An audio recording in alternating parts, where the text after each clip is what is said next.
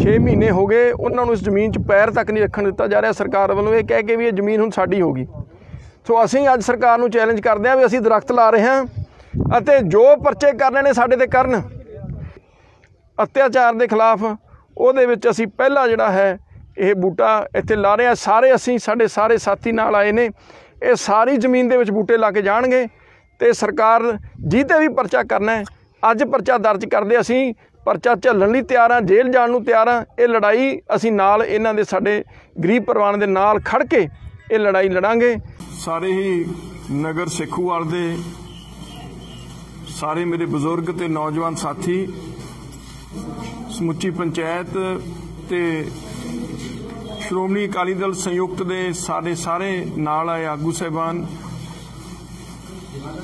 ਗਰਚਾ ਸਾਹਿਬ ਅਤੇ ਪੀਰ ਮੁਹੰਮਦ ਜੀ ਸਾਰੀਆਂ ਸ਼ਖਸੀਅਤਾਂ, ਸਾਡੇ ਨੌਜਵਾਨ ਕਨਵੀਨਰ ਯੂਥ ਅਕਾਲੀ ਦਲ ਦੇ ਮਨਪ੍ਰੀਤ ਸਿੰਘ ਸਾਰਿਆਂ ਨੂੰ, ਹੋਰ ਸਾਰੇ ਆਗੂ ਸਹਿਬਾਨ ਸਾਰਿਆਂ ਨੂੰ ਫਤਿਹ ਅਰਜ਼ ਕਰਦਾ ਵਾਹਿਗੁਰੂ ਜੀ ਕਾ ਖਾਲਸਾ, ਵਾਹਿਗੁਰੂ ਜੀ ਕੀ ਫਤਿਹ। ਇਹ ਜੋ ਮੁੱਦਾ ਇੱਥੇ ਇੰਡਸਟਰੀਅਲ ਸਟੇਟ ਦਾ ਹੈ, ਇਹ ਬਹੁਤ ਹੀ ਗੰਭੀਰ ਮੁੱਦਾ ਹੈ। ਕਿਉਂਕਿ ਜਿੱਥੇ ਲੋਕਾਂ ਦੇ ਰੋਜ਼ਗਾਰ ਨਾਲ ਸੰਬੰਧਿਤ ਹੈ ਉਥੇ ਨਾਲ ਨਾਲ ਮੈਂ ਸਮਝਦਾ ਸਾਡਾ ਜੋ ਵਾਤਾਵਰਣ ਹੈ, ਜਿਹਦੀ ਸੰਭਾਲ ਅੱਜ ਸਭ ਤੋਂ ਵੱਡੀ ਲੋੜ ਹੈ, ਉਹਦੇ ਨਾਲ ਵੀ ਸਿੱਧਾ ਸੰਬੰਧਿਤ ਹੈ। ਬੜੇ ਹੈਰਾਨੀ ਦੀ ਗੱਲ ਹੈ ਕਿ ਇੱਕ ਪਾਸੇ ਅਸੀਂ ਵਾਤਾਵਰਣ ਦੇ ਪ੍ਰਦੂਸ਼ਣ ਹੋਣ ਦੇ ਨਾਲ ਵਾਤਾਵਰਣ ਦੇ ਨੁਕਸਾਨ ਹੋਣ ਤੋਂ ਬਾਅਦ ਐਡੀਆਂ ਵੱਡੀਆਂ ਮਹਾਮਾਰੀਆਂ ਦੇ ਨਾਲ ਲੜ ਰਹੇ ਹਾਂ।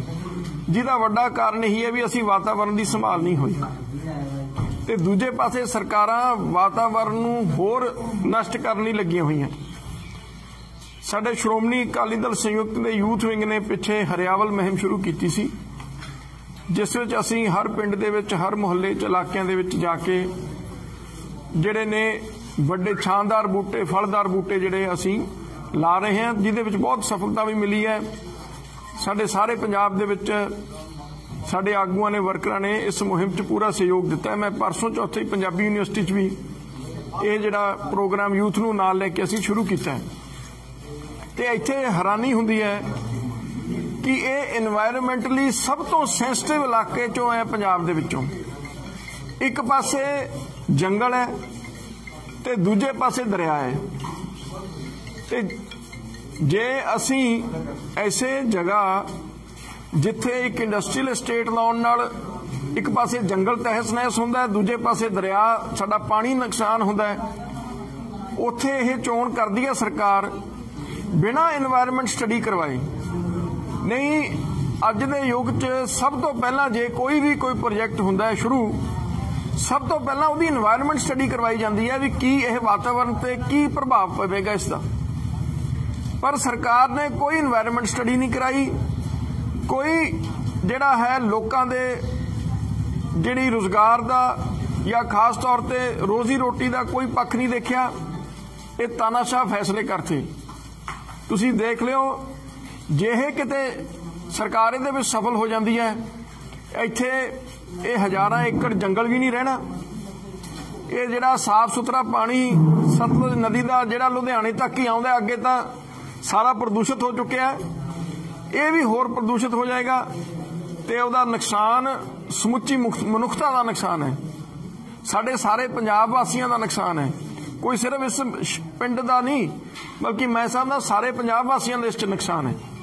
ਸੋ ਜਦ ਸਾਨੂੰ ਪਤਾ ਚੱਲਿਆ ਤੇ ਅਸੀਂ ਸਾਰੇ ਅੱਜ ਇਕੱਠੇ ਹੋ ਕੇ ਇੱਥੇ ਆਏ ਆ ਸਾਡੀ ਲੜਾਈ ਸਿਰਫ ਇੱਕੋ ਹੀ ਹੈ ਕਿ ਜਿਸ ਤਰੀਕੇ ਦੇ ਨਾਲ ਲੋਕਾਂ ਨੂੰ ਉਹਨਾਂ ਦੀ ਰੋਜ਼ੀ ਰੋਟੀ ਖੋਈ ਜਾ ਰਹੀ ਹੈ ਲੋਕਾਂ ਤੋਂ ਸਾਰੇ ਪਿੰਡ ਨੂੰ ਬਰਬਾਦ ਕਰਨ ਤੇ ਸਰਕਾਰ ਤੁਲੀ ਹੋਈ ਹੈ ਤੇ ਜੰਗਲ ਨੂੰ ਨੁਕਸਾਨ ਕਰਨ ਤੇ ਤੁਲੀ ਹੋਈ ਹੈ।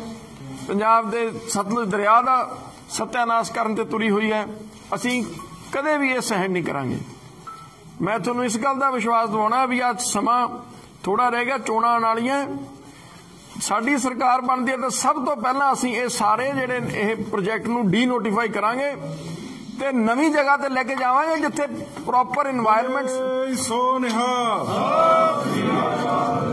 ਜਿੱਥੇ এনवायरमेंट ਸਟੱਡੀ ਹੋਵੇ ਪਹਿਲਾਂ ਸਾਡੇ ਵਾਤਾਵਰਣ ਦੀ ਪ੍ਰੋਪਰ ਉੱਥੇ ਸਟੱਡੀ ਹੋਵੇ ਤੇ ਜ਼ਮੀਨ ਅਕਵਾਇਰ ਪ੍ਰੋਪਰ ਸਿਸਟਮ ਨਾਲ ਹੋਵੇ ਲਾਭਪਾਤਰੀਆਂ ਨੂੰ ਫਾਇਦਾ ਹੋਵੇ ਨਹੀਂ ਤਾਂ ਆ ਜਿਹੜੀਆਂ ਪੈਸੇ ਸਿਰਫ ਸਰਕਾਰ ਦੇ ਅਫਸਰਾਂ ਦੇ ਪੈਸੇ ਖਾਣ ਦੇ ਤਰੀਕੇ ਨੇ। ਕਿਵੇਂ?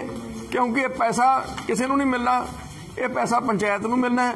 ਪੰਚਾਇਤ ਨਾਲ ਕੋਈ ਵੀ ਪੰਚਾਇਤ ਹੋਵੇ, ਉਹਨਾਂ ਦੇ ਗਲ 'ਚ ਗੂਠਾ ਦੇ ਕੇ ਅਫਸਰ ਉਹਨੂੰ ਆਪਦੀ ਮਰਜ਼ੀ ਨਾਲ ਖਰਚਾ ਲੈਂਦੇ ਨੇ ਤੇ ਅੱਧਾ ਪੈਸਾ ਵਿੱਚੋਂ ਹੜਪ ਕਰ ਜਾਂਦੇ ਨੇ। ਤੇ ਨੁਕਸਾਨ ਹੁੰਦਾ ਹੈ ਪਿੰਡ ਵਾਸੀਆਂ ਦਾ, ਨੁਕਸਾਨ ਹੁੰਦਾ ਹੈ ਲੋਕਾਂ ਦਾ ਤੇ ਅਫਸਰਾਂ ਦੇ ਆਪਦੇ ਤਰੀਕੇ ਨੇ ਪੈਸੇ ਖਾਣ ਦੇ। ਸੋ ਇਹਨੂੰ ਅਸੀਂ ਬਿਲਕੁਲ ਬਰਦਾਸ਼ਤ ਨਹੀਂ ਕਰਾਂਗੇ ਤੇ ਜੇ ਸਰਕਾਰ ਨੇ ਇਹਨੂੰ ਅੱਗੇ ਪ੍ਰੋਜੈਕਟ ਨੂੰ ਅੱਗੇ ਲਿਜਾਣ ਦਾ ਯਤਨ ਕੀਤਾ, ਤਾਂ ਅਸੀਂ ਇੱਥੇ ਧਰਨਾ ਲਾਵਾਂਗੇ, ਇੱਥੇ ਮੁਜ਼ਾਹਰਾ ਕਰਾਂਗੇ, ਤੁਹਾਡੇ ਨਾਲ ਬੈਠਾਂਗੇ। ਕਦੇ ਵੀ ਇਸ ਪ੍ਰੋਜੈਕਟ ਨੂੰ ਅਸੀਂ ਸਿਰੇ ਨਹੀਂ ਚੜ੍ਹ ਦੇਣਾ। ਅਸੀਂ ਮੈਂ ਤੁਹਾਨੂੰ ਇਸ ਗੱਲ ਦਾ ਪੂਰਾ ਵਿਸ਼ਵਾਸ ਦਵਾਉਣਾ।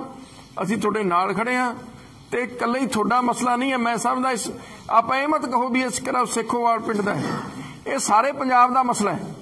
ਕਿਉਂਕਿ ਇੱਥੇ ਜੋ ਹੋਊਗਾ ਉਹਦਾ ਨੁਕਸਾਨ ਸਾਰੇ ਪੰਜਾਬ ਦਾ ਹੋਣਾ ਪੰਜਾਬ ਦੇ ਲੋਕਾਂ ਦਾ ਹੋਣਾ ਪੰਜਾਬ ਦੇ ਵਾਤਾਵਰਣ ਦਾ ਹੋਣਾ ਪੰਜਾਬ ਦੇ ਪਾਣੀ ਦਾ ਨੁਕਸਾਨ ਹੋਣਾ ਸੋ ਇਹਦੇ ਵਿੱਚ ਅਸੀਂ ਇੱਕੋ ਹੀ ਅਸੀਂ ਤੁਹਾਨੂੰ ਅੱਜ ਵਿਸ਼ਵਾਸ ਦਿਵਾਉਣਾ ਹੈ, ਤੁਹਾਡਾ ਸਾਥ ਖੜੇ ਖੜਿਆ ਤੇ ਨਾਲੇ ਇਸ ਜ਼ਮੀਨ ਦੇ ਵਿੱਚ ਅੱਜ ਅਸੀਂ ਬੂਟੇ ਵੀ ਲਾ ਕੇ ਜਾਵਾਂਗੇ ਤੇ ਸਰਕਾਰ ਹਿੰਮਤ ਕਰੇ। ਸਰਕਾਰ ਹੌਸਲਾ ਕਰੇ ਵੱਢ ਕੇ ਦਿਖਾਵੇ, ਪੱਟ ਕੇ ਦਿਖਾਵੇ, ਫਿਰ ਅਸੀਂ ਦੇਖਦੇ ਹਾਂ ਕੀ ਕਰਦੇ ਹਾਂ। ਸੋ ਤੁਹਾਡੇ ਸਹਿਯੋਗ ਦੀ ਪੂਰੀ ਆਸ ਵੀ ਕਰਦੇ ਹਾਂ, ਅਸੀਂ ਤਾਂ ਸਾਰੇ ਪੰਜਾਬ ਦੇ ਲੋਕਾਂ ਦੀ ਸਹਿਯੋਗ ਦੀ ਆਸ ਕਰਦੇ ਹਾਂ ਵੀ ਐਸੇ ਸਰਕਾਰਾਂ ਦੇ ਜੋ ਤਾਨਾਸ਼ਾਹ ਫੈਸਲੇ ਨੇ, ਉਹਨਾਂ ਨੂੰ ਰੋਕਣ ਲਈ ਜਿਹੜਾ ਆਪਾਂ ਸਾਰੇ ਇਕੱਠੇ ਹੋਈਏ। ਸਾਰੀ ਸਾਰੀ ਲੀਡਰਸ਼ਿਪ ਦਾ ਹੋਰ ਵੀ ਸਾਡੇ ਆਗੂ ਸਹਿਬਾਨ ਆਪਦੇ ਵਿਚਾਰ ਰੱਖਣਗੇ। ਪੰਚਾਇਤ ਦੇ ਵੀ ਮੈਂ ਨੁਮਾਇੰਦੇ ਚਾਹੁੰਦਾਗਾ ਵੀ ਕੋਈ ਨਾ ਕੋਈ ਸਾਰੇ ਆ ਕੇ ਆਪਦੀ ਗੱਲ ਰੱਖਣ, ਆਪਦੀ ਭਾਵਨਾਵਾਂ ਰੱਖਣ, ਤਾਂ ਕਿ ਇਹ ਗੱਲ ਤੁਹਾਡੀ ਸਾਰੇ ਪੰਜਾਬ ਤੱਕ ਪਹੁੰਚੇ, ਤੁਹਾਡਾ ਦੁੱਖ, ਤੁਹਾਡਾ ਦਰਦ ਸਾਰੇ ਪੰਜਾਬ ਤੱਕ ਪਹੁੰਚੇ। ਕਿਉਂਕਿ ਸਾਰਾ ਹੀ ਤਕਰੀਬਨ ਮੈਨੂੰ ਦੱਸਿਆ ਵੀ ਦਲਿਤ ਪਰਿਵਾਰਾਂ ਦਾ ਨਗਰ ਹੈ, ਜਿਹੜੇ ਦੂਰੋਂ ਆ ਕੇ ਇੱਥੇ ਵਸੇ ਨੇ ਜਿਨ੍ਹਾਂ ਨੇ ਇਸ ਜਗ੍ਹਾ ਨੂੰ ਆਬਾਦ ਕੀਤਾ, ਇਸ ਪਿੰਡ ਨੂੰ ਆਬਾਦ ਕੀਤਾ, ਅੱਜ ਆਪਦੀ ਮਿਹਨਤ ਨਾਲ ਕੀਤੇ ਸਵਾਦ ਜਿਹੜੀ ਭੂਮੀ ਹੈ, ਇਹ ਜੇ ਖੋਈ ਜਾ ਰਹੀ ਹੈ, ਇਹ ਕਦੇ ਵੀ ਜਿਹੜੇ ਲੋਕ ਨਾ ਲੋਕ ਬਰਦਾਸ਼ਤ ਕਰਨਗੇ ਤੇ ਨਾ ਹੀ ਅਸੀਂ ਜਿਹੜਾ ਬਰਦਾਸ਼ਤ ਕਰਾਂਗੇ। ਸੋ ਤੁਹਾਡਾ ਸਭ ਦਾ ਬਹੁਤ ਬਹੁਤ ਧੰਨਵਾਦ। ਵਾਹਿਗੁਰੂ ਜੀ ਕਾ ਖਾਲਸਾ, ਵਾਹਿਗੁਰੂ ਜੀ ਕੀ ਫਤਿਹ। ਮਾਮਾ ਸਾਹਿਬ ਇਹਨੂੰ ਨਾਲ ਪੜਾਇਆ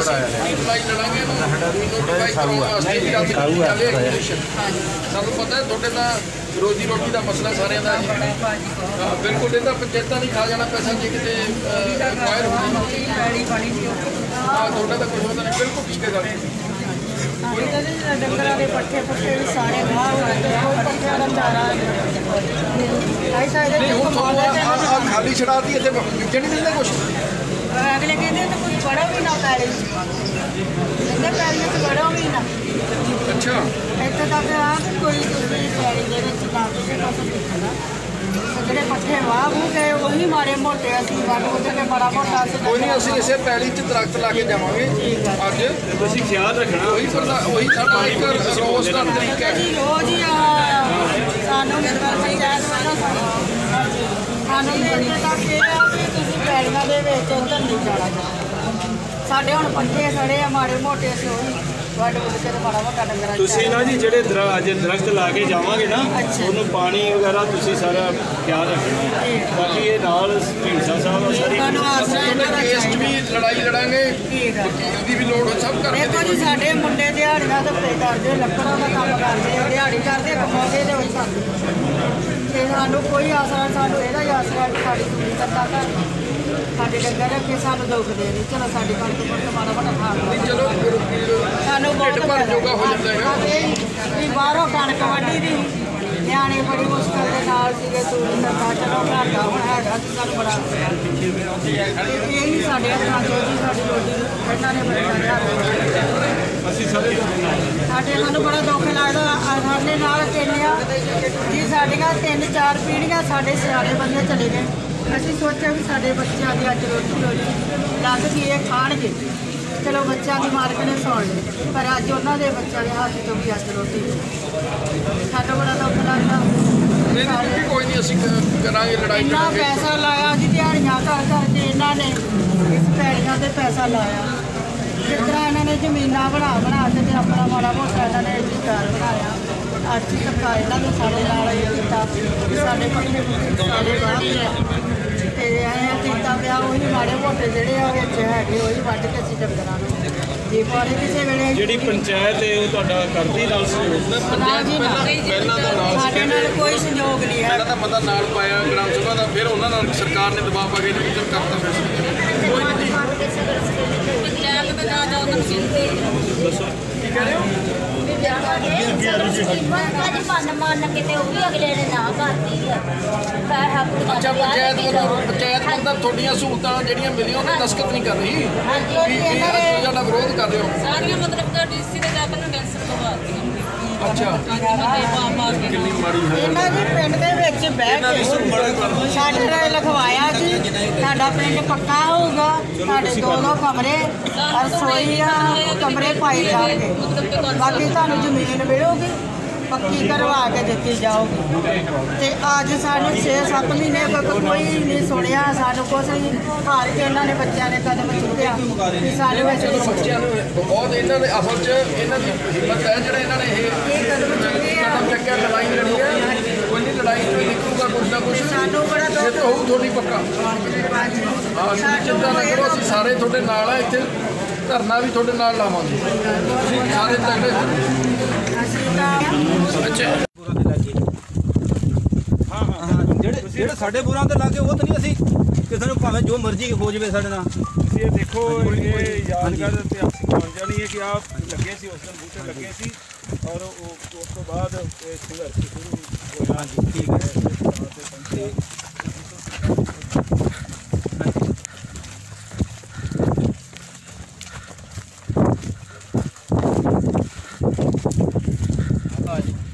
ਨਹੀਂ ਇਹ ਸਾਡਾ ਇਹ- ਇਹ ਇੱਕ ਹੈਗਾ ਉਹ ਪੰਚਾਇਤ ਮੈਂਬਰ ਦਾ ਇਹ। ਤੇ ਫਿਰ ਵੀ ਆਪਾਂ ਇੱਥੇ ਲਾਉਣੇ ਆ ਕਿ ਇਹ ਜ਼ਮੀਨ ਤੇ ਪਿੰਡ ਦੀ ਹੈ ਨਾ ਇਹ। ਆ ਕਰ ਦੇ ਨੂੰ ਟਿੱਕਾ ਕਰ ਲਈ ਆ ਵਾਹਿਗੁਰੂ ਜੀ ਕੀ ਫਤਿਹ। ਦੇਖੋ ਇਹ ਸਾਰਿਆਂ ਨੂੰ ਜੋ ਇਹ ਸਿੱਖੋਵਾਲ ਵਿਖੇ ਧੱਕੇ ਨਾਲ ਗਰੀਬ ਪਰਿਵਾਰਾਂ ਦੀ ਜ਼ਮੀਨ ਪੰਚਾਇਤੀ ਜ਼ਮੀਨ ਪੰਚਾਇਤ ਦੇ ਗ੍ਰਾਮ ਸਭਾ ਦੇ ਮਤੇ ਦੇ ਉਲਟ ਜਾ ਕੇ ਸਰਕਾਰ ਨੇ ਐਕਵਾਇਰ ਕੀਤੀ ਹੈ। ਉਹਨਾਂ ਲੋਕਾਂ ਨੂੰ ਜ਼ਮੀਨ ਚੋਂ ਕੱਢ ਦਿੱਤਾ ਗਿਆ ਹੈ। 6 ਮਹੀਨੇ ਹੋ ਗਏ, ਉਹਨਾਂ ਨੂੰ ਇਸ ਜ਼ਮੀਨ 'ਚ ਪੈਰ ਤੱਕ ਨਹੀਂ ਰੱਖਣ ਦਿੱਤਾ ਜਾ ਰਿਹਾ। ਸਰਕਾਰ ਵੱਲੋਂ ਇਹ ਕਹਿ ਕੇ ਵੀ ਇਹ ਜ਼ਮੀਨ ਹੁਣ ਸਾਡੀ ਹੋ ਗਈ। ਸੋ ਅਸੀਂ ਅੱਜ ਸਰਕਾਰ ਨੂੰ ਚੈਲੰਜ ਕਰਦੇ ਹਾਂ ਵੀ ਅਸੀਂ ਦਰਖਤ ਲਾ ਰਹੇ ਹਾਂ ਅਤੇ ਜੋ ਪਰਚੇ ਕਰਨੇ ਨੇ ਸਾਡੇ ਤੇ ਕਰਨ। ਗਰੀਬਾਂ ਨੂੰ ਡਰਾਉਣ ਦੀ ਬਜਾਏ, ਧੱਕਾਸ਼ਾਹੀ ਕਰਨ ਦੀ ਬਜਾਏ, ਕਾਨੂੰਨਾਂ ਦੀ ਉਲੰਘਣਾ ਕਰਨ ਦੀ ਬਜਾਏ ਉਹਨਾਂ ਨੇ ਹੋਰ ਕੁਝ ਨਹੀਂ ਕੀਤਾ। ਇਹ ਜੋ ਇੱਥੇ ਆ ਤੁਸੀਂ ਚਾਰੇ ਪਾਸੇ ਦੇਖੋ ਜੰਗਲ, ਇਹ ਸਾਰਾ ਸਤਿਆਨਾਸ਼ ਹੋ ਜਾਣਾ ਹੈ। ਜੇ ਇਹਨਾਂ ਦੇ ਇਹ ਸਫਲ ਹੋ ਗਈ, ਇੱਧਰ ਪਿੱਛੇ ਦਰਿਆ ਹੈ ਉਹਦਾ ਸਤਿਆਨਾਸ਼ ਹੋ ਜਾਣਾ ਸੋ ਸਾਡੀ ਪਾਰਟੀ ਵੱਲੋਂ ਇਸ ਮੁਹਿੰਮ ਦੇ ਵਿੱਚ ਜੋ ਹਰਿਆਵਲ ਮੁਹਿੰਮ ਸ਼ੁਰੂ ਕੀਤੀ ਹੈ, ਉਸ ਤਹਿਤ ਅਤੇ ਇਸ ਜੋ ਲੜਾਈ ਅਤਿਆਚਾਰ ਦੇ ਖਿਲਾਫ, ਉਹਦੇ ਵਿੱਚ ਅਸੀਂ ਪਹਿਲਾ ਜਿਹੜਾ ਹੈ, ਇਹ ਬੂਟਾ ਇੱਥੇ ਲਾ ਰਹੇ ਹਾਂ। ਸਾਰੇ ਅਸੀਂ, ਸਾਡੇ ਸਾਰੇ ਸਾਥੀ ਨਾਲ ਆਏ ਨੇ। ਇਹ ਸਾਰੀ ਜ਼ਮੀਨ ਦੇ ਵਿੱਚ ਬੂਟੇ ਲਾ ਕੇ ਜਾਣਗੇ ਤੇ ਸਰਕਾਰ, ਜਿਹਦੇ ਵੀ ਪਰਚਾ ਕਰਨਾ ਹੈ, ਅੱਜ ਪਰਚਾ ਦਰਜ ਕਰਦੇ ਅਸੀਂ। ਪਰਚਾ ਝੱਲਣ ਲਈ ਤਿਆਰ ਹਾਂ, ਜੇਲ੍ਹ ਜਾਣ ਨੂੰ ਤਿਆਰ ਹਾਂ। ਇਹ ਲੜਾਈ ਅਸੀਂ ਨਾਲ ਇਹਨਾਂ ਦੇ ਸਾਡੇ ਗਰੀਬ ਪਰਿਵਾਰਾਂ ਦੇ ਨਾਲ ਖੜ ਕੇ ਇਹ ਲੜਾਈ ਲੜਾਂਗੇ ਤੇ ਆ ਸਾਡੇ ਸਾਰੇ ਸਾਥੀ ਇਕੱਠੇ ਹੋ ਕੇ ਆ ਪਹਿਲਾ ਬੂਟਾ ਅਸੀਂ ਲਾ ਰਹੇ ਹਾਂ ਤੇ ਸਾਰੇ ਅੱਜ ਤਕਰੀਬਨ 100 ਬੂਟਾ ਅਸੀਂ ਇੱਥੇ ਲਾ ਕੇ ਜਾਵਾਂਗੇ। ਵਾਹਿਗੁਰੂ ਜੀ ਕਾ ਖਾਲਸਾ, ਵਾਹਿਗੁਰੂ ਜੀ ਕੀ ਫਤਿਹ।